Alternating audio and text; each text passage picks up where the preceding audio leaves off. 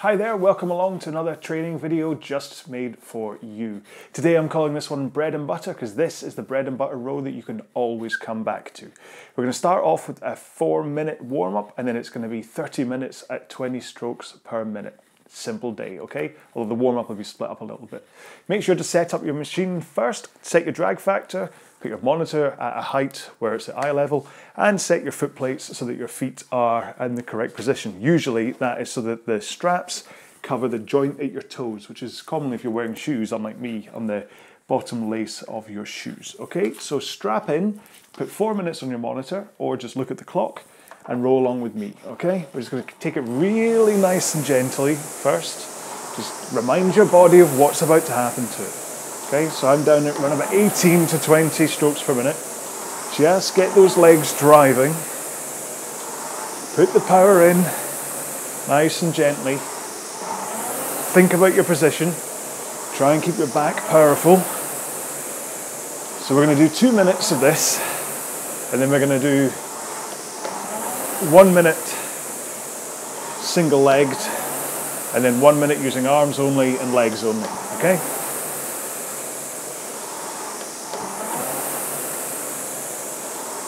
Now, when I say think about position, let's talk about the catch first, okay? Think shins first. Try and get your shins vertical at the front without having to lift your heels too far off. So you want your shins vertical when you get to the front of the stroke.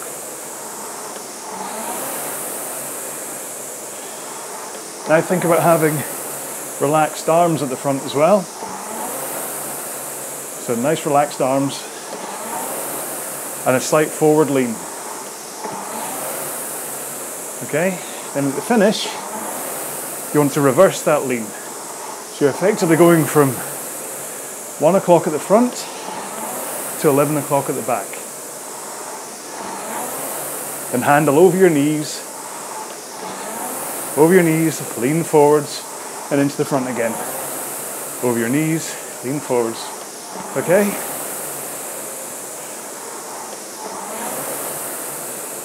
The handle over your knees helps engage that hip rock forwards. It's all from the hips. Okay, 10 seconds to go on this. And then we're going to do single leg. So take one of your feet out and just drive with one leg. Okay? Really feel the connection at the front. Okay?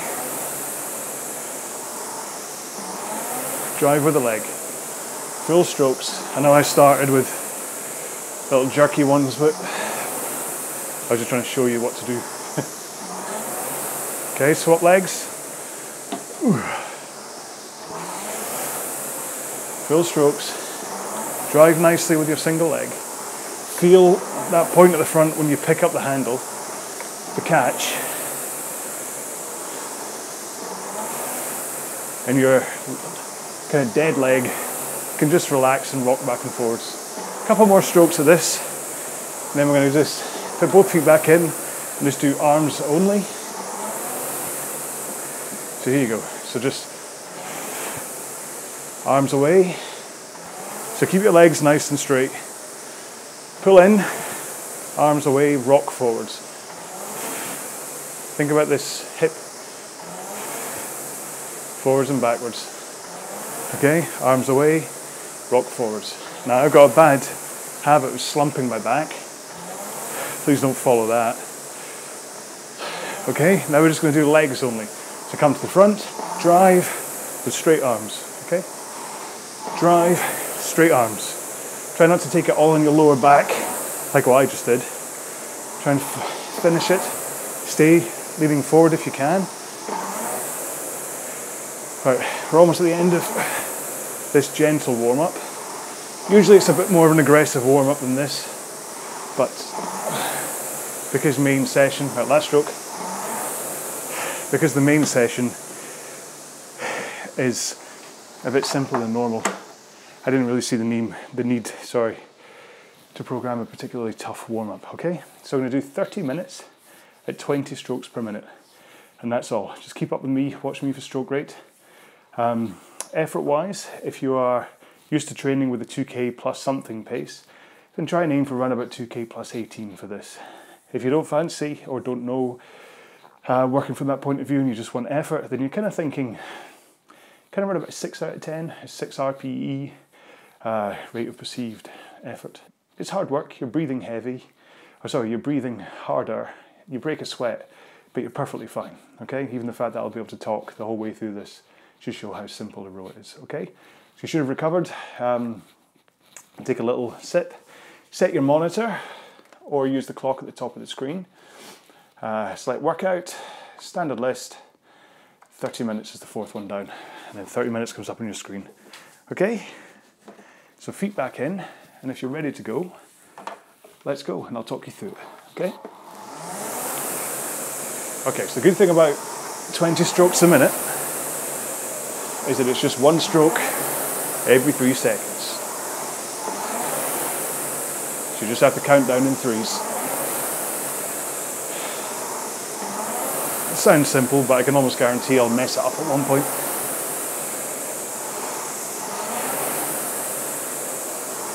Now, if you train a lot and you are used to the 2k time plus 18, you should have already hit whatever groove you need to. If you don't train that way, and you're doing it just as a RPE 6 out of 10, try to find your pace as quickly as you can and hover around that.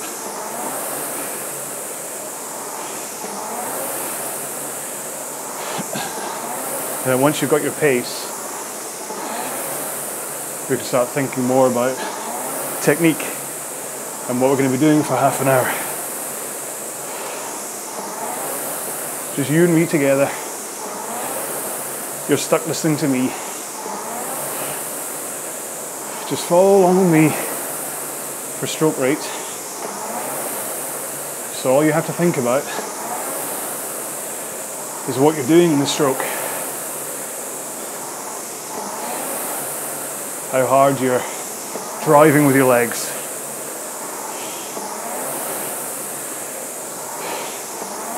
What you don't want to see is the time on the monitor varying wildly up and down, up and down. Just try and find your pace. It's a good thing about sticking to a stroke rate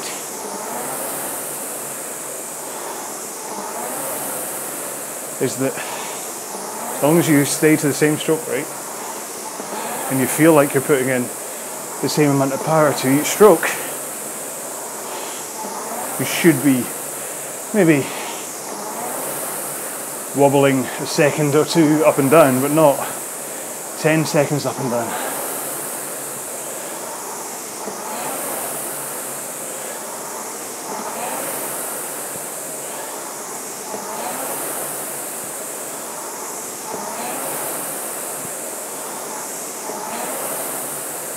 Going up to three minutes gone.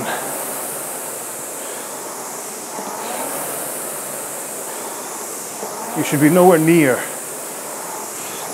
exhausted at this stage. You should, in fact, be able to pretty much climb off and not even need a shower. This should just be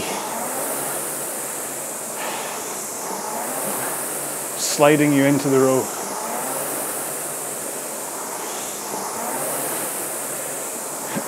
If you are exhausted and panting like a cocker spaniel, do they pant? They're panting like a dog. And you've gone out too too hard at the beginning. So back off a couple of seconds on the monitor. If you were doing two minute splits, take it down to 202, 203 See if that settles you down. Just keep the stroke rate going.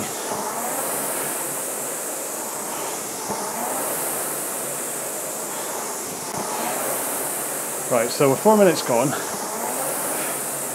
just assess what's going on with your technique. So,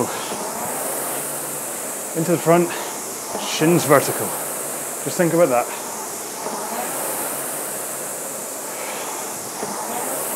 Into the front, think, are my shins vertical? think so.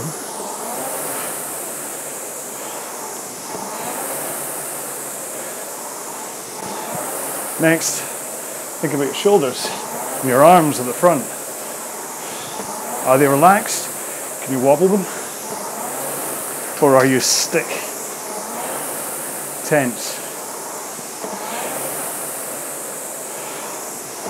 Nice and relaxed. Straight arms at the front. Keep them straight until now. So you don't want to bend your elbows too soon.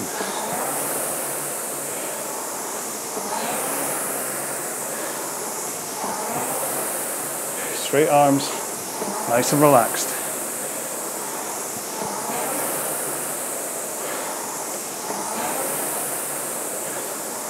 Are you leaning forwards when you get into the front?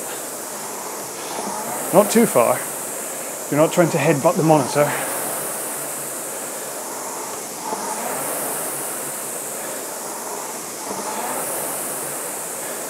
But as you get into the front, do you have a forward lean from the hips.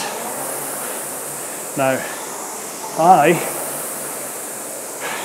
have an issue that some of you have too, which is that I lean from my back, not from my hips. So just think if you're leaning forward at the front, is it coming from the hips? Or is it coming from the back? Okay, you want it from the hips. And how do you help that?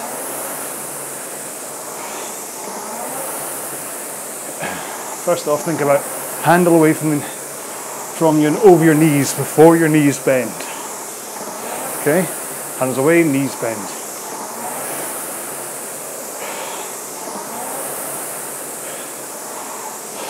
Getting your handle over your knees before they bend engages that hip swing, setting you up as you get into the catch at the front. So you're already in the lean position. You don't have to awkwardly come forwards and then lean. That's a no no.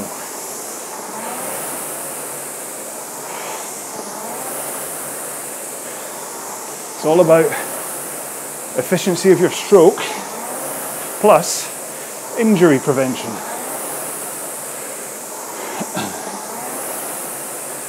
Maybe you've hurt your back rowing the wrong way. And then when you get the feels for it the right way, it doesn't hurt.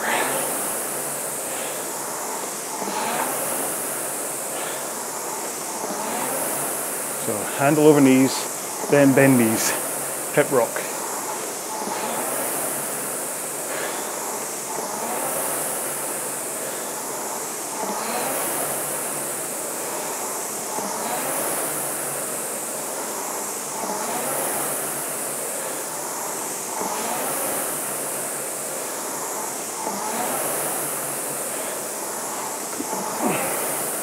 If you want to get to the finer points of it, really think about a leg drive at the front.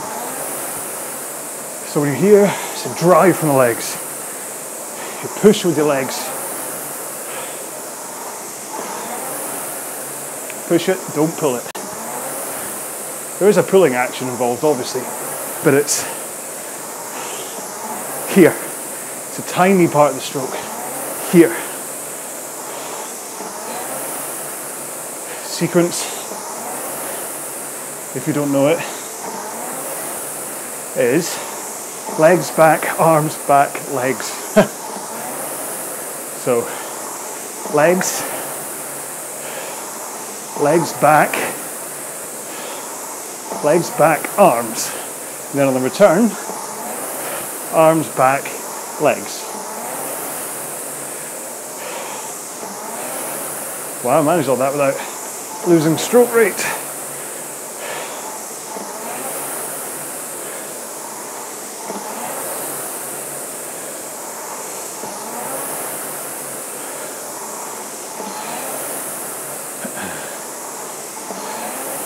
So it's all about efficiency of stroke and stopping you getting injuries.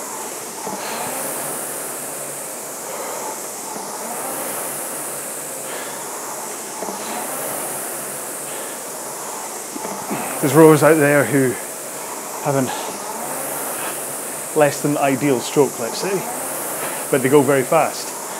And then you try and get them to, oh, hang on, 10 minutes gone, in now. Well done. Good job. Hope you're keeping up with me.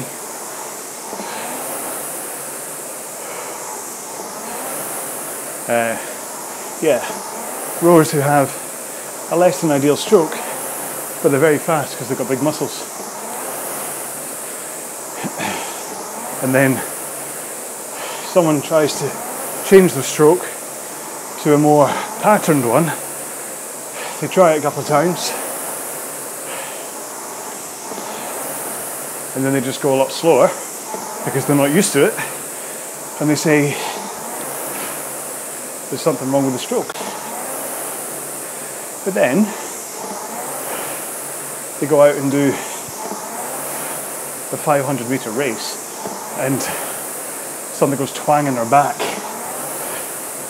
because they're yanking on the machine with their arms like they're trying to start a lawnmower.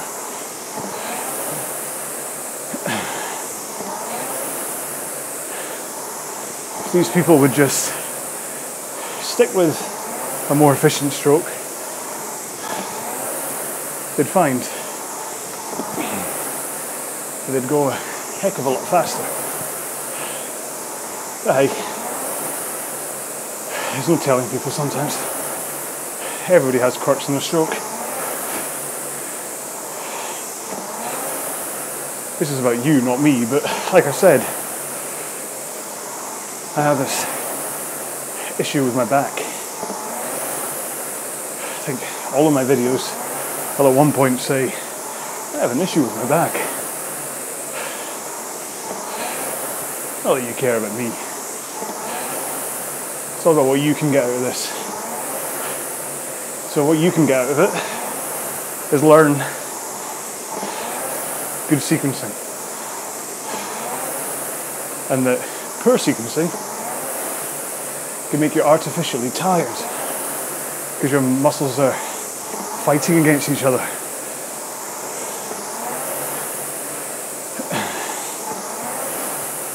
Hope you're still in the 20 stroke pocket. Remember, just follow along with me. Even if your monitor drifts down to 19 or up to 21, don't worry about it. Sometimes the PM monitor in front of you or on whatever machine you're using has a bit of a hiccup. As long as you follow along with what I'm doing, you'll always be at 20 strokes a minute.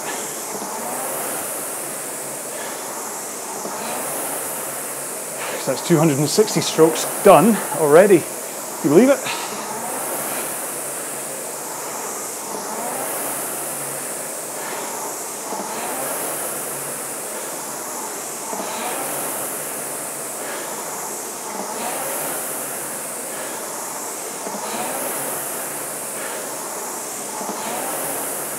also, let's think about your hands. You're not choking the life out of the handle when you're rowing. You want a nice relaxed grip. You're pretty much hooking round. Slightly closed thumb and forefinger, but you're not gripping for dear life. You're not fighting a snake.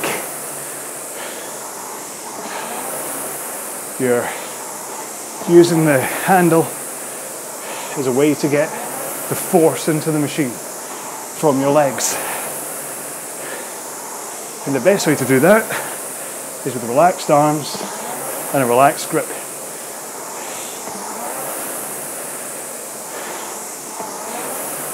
And then as you connect the drive at the front, the power goes into the handle, into the flywheel, and you go fast.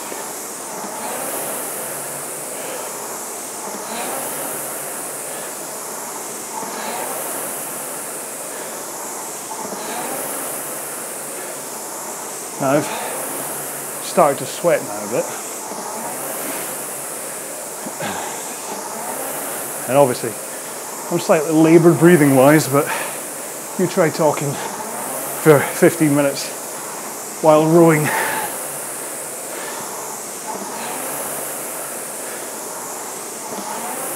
That said, there's videos on YouTube of guys doing flat out 2k races. Oh, obviously not flat out. But they row like a 620 2k, which is fast. And they talk you through it as though it was a walk in the park.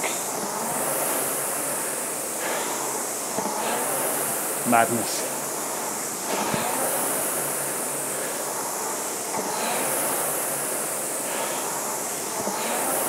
I hope you're holding on okay. Just remember, you should really have hit a groove.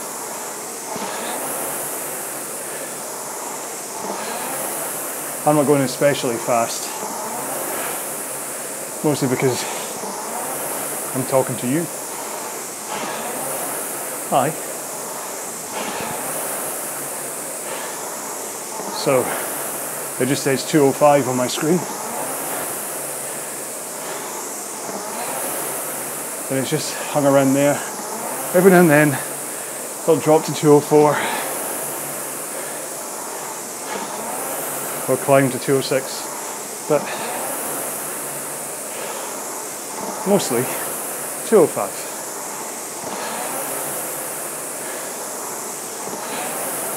Just so you know, and for my ego, of course, I'd normally do this about 158 pace because my 2k average is 1 minute 40 seconds per 500 meters. Okay? Which you maths whizzes will work out. My 2k is around 6 minutes 40. So, with a 140 average plus 18, that gives 1 minute 58. Is my pace for this. But if you were just dialing in just over 50% power, you should still be there, albeit maybe slightly out of breath, a bit sweaty, but you shouldn't be looking and realizing there's 12 minutes to go and panic. Don't panic. You should be so comfortable that you want to speed up, but don't. And this is why this is called the bread and butter row. This is your bread and butter. This builds your engine, it builds your stroke. Get a chance to think about technique and sequencing. You get to do some UT2 or kind of lower mid range heart rate training, which builds the foundation of your cardiovascular system without destroying you. So, realistically, you should be able to jump on your machine and do this workout every single day of your life. Now, I love rowing, but even for me, uh, 30 minute, 20 strokes per minute every day for the rest of my life, it get a bit dull. And if you're doing it along to this video every day, good grief, that would be dull. And this is why we vary things. You go a lot faster for shorter periods or for shorter intervals at least. You go slightly faster at slightly shorter intervals but longer. So you'll see other videos on here that are like five times eight minutes with two minutes rest in between. So you can go a bit faster on them. But the recovery time gives you a chance to, well, recover before the next one. So by mixing it up, not only do you prevent yourself getting bored, you prevent your body getting bored as well. Because it'll eventually just get used to this UT2 kind of RPE 6 effort and adapts quite quickly.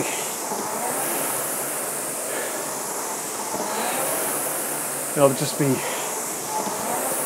a little harder to properly build your engine. But that said, if you have quite a varied training schedule anyway, and one day you sit down and think, what shall I do today? This is the perfect row to come back to time and time again. As long as it's not time and time and time and time and time and time again throw something else in from time to time.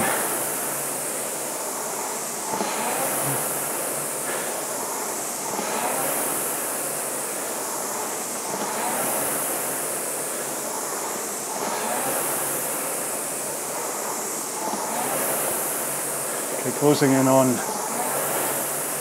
22 minutes gone. 440 strokes. So if you're doing the stroke right, that's like 440 kind of easy squats. And then if you're keeping a powerful back at the finish of the stroke, it's a bit like doing 440 easy ab exercises. and again, you shouldn't need a calculator to have worked out 30 minutes, 20 strokes a minute, you're going to end up doing 600 strokes by the end of this.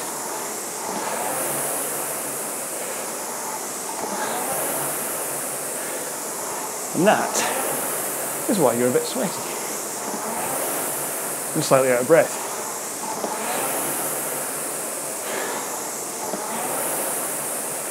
That you should maybe not be able to hold a conversation if you're at the right pace. Like I said, I've dropped a little bit so I can talk to you. But we should at least be able to get the odd line out. Talk to the person next to you.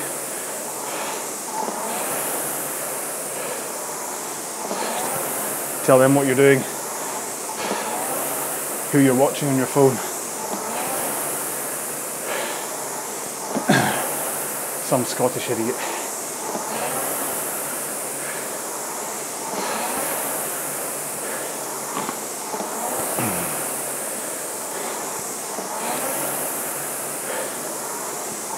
Okay, so fractions alert, but we're about to hit four fifths gone, One fifth to go.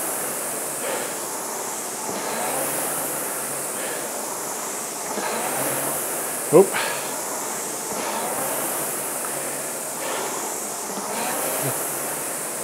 Uh, monitor glitch. There we go. All back in it again.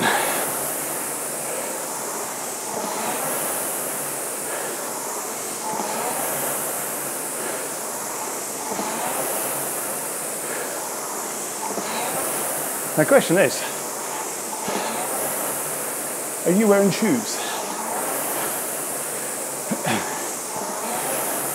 If so, what shoes are you wearing? Do you find you connect with the foot plate correctly? Or, like some people, do you row in socks? To get a good solid connection with the plate so you can really drive your heels into the foot plate and get the most out of it. I feel it also stops yanking on the straps at the end of the stroke. You're not really meant to pull on the strap in order to pull yourself up the rail. That's not the point. Going back about 20 minutes into this row, remember, arms away, and that forward momentum brings you back up the rail. So your leg drive finishes before you pull in with your arms. So you're not stopping any reverse momentum by yanking on the strap. Because if you yank on the strap at the end, that's wasted energy. That's force that should be going in to the flywheel that you're just soaking up in your legs.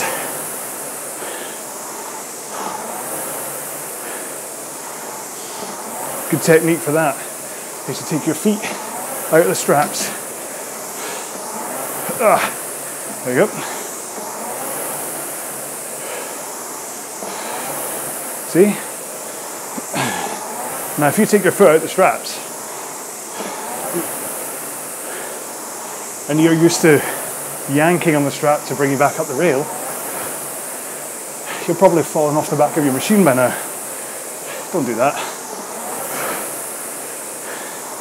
So, a better idea is to loosen the straps, okay? To make them a good chunk above your shoes but enough that if you get it wrong and you need to steady yourself on them, you can still catch yourself on the strap.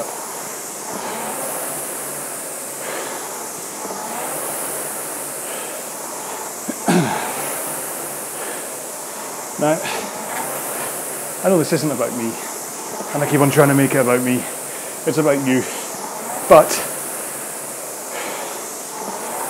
Remember I said I was rowing around about 205 before, taking my feet out the straps. I'm still doing 205. It gets harder to maintain a pace strapless the faster your stroke rate gets. I think once I get past 24, it all falls apart for me. Two minutes to go. But if you want an extra challenge, extra credit for your 30 minutes to 20. Safely take your feet out the straps. Give yourself that safety net I was on about. And see what happens. It certainly works the core more. And it makes sure you don't waste power from a stroke.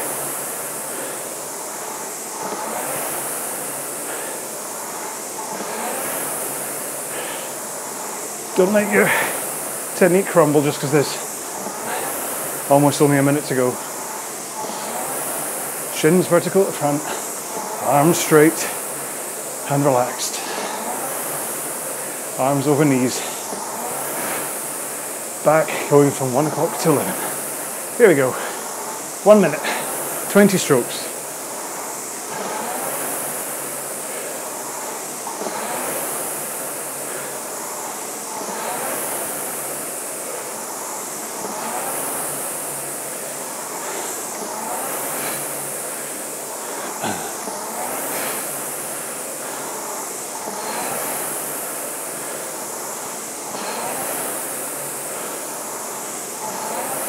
Ten strokes to go. That's it. Come on.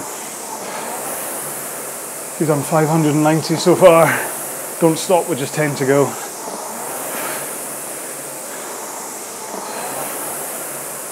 Assuming you've held a pretty constant pace the whole way, you should feel awesome the moment you stop this.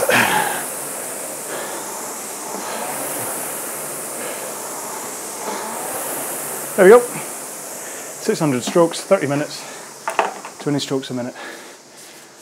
Like I said, you should be kind of sweaty, breathing a little bit heavy, but not, not lying on the floor, so you should be fine. Anyway, hope you enjoyed watching this video, whatever platform you watched it on. If you want to find out more about what I do, there's a website called pdprowing.com. And I've also got something that's all about indoor rowing called indoorrowinginfo.com check them out, you'll see more about that. And I'll obviously keep watching this channel or this part of the app to see other videos from me. Thanks for rowing with me today. I really appreciate your company. Have a good day.